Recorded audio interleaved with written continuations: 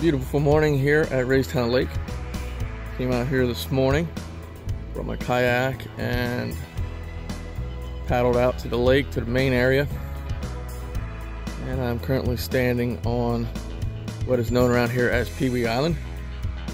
Pee Wee Island is a small little island here, uh, popular to a lot of boaters, fishermen, kayakers.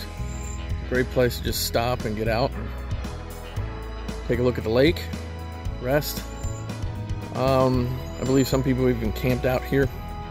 Uh, my reason for being out here today, uh, not just for the adventure and to enjoy this awesome weather here before 4th of July weekend, but to also scope out a couple of the islands here because um, my goal is to come out and paddle one weekend and uh, do an overnighter on one of these particular islands.